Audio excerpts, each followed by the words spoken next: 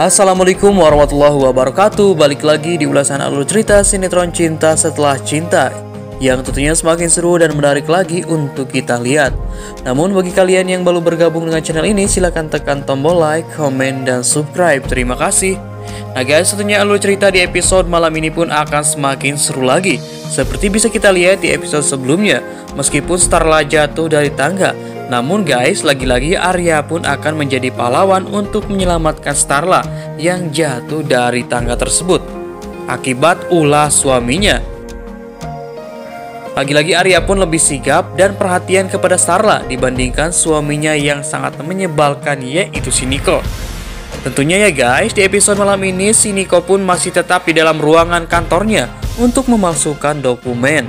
Namun, Niat licik Siniko tersebut bisa kita pastikan di episode malam ini sudah diketahui oleh Arya kalau Siniko tersebut sedang memalsukan dokumen dan mematikan lampu perusahaan atau kantornya ya guys. Setelah Arya mengetahui kalau Siniko memalsukan dokumen, Arya pun langsung membawa Starla ke rumah sakit.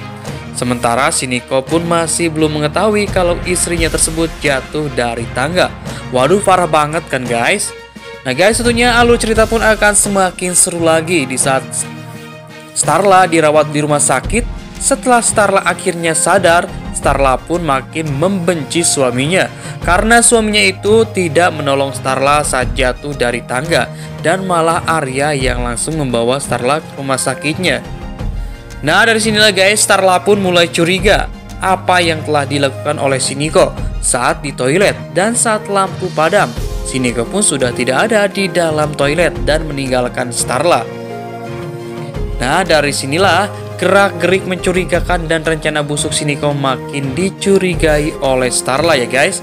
Nah, semoga saja di episode malam ini Starla pun cepat sembuh dan dari cederanya dan semoga saja Arya cepat membongkar dan semoga saja Arya cepat membongkar kebusukan Siniko kalau Siniko telah memalsukan dokumen demi menutupi kebohongan dan kebusukannya tentang perselingkuhannya dengan si Ayu.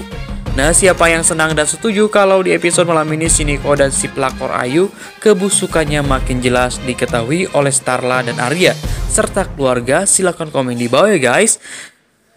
Karena Bamin percaya para netizen ataupun penonton di rumah setuju kalau Kedua orang yang sangat menyebalkan tersebut cepat mendapatkan karmanya atau kena ajab.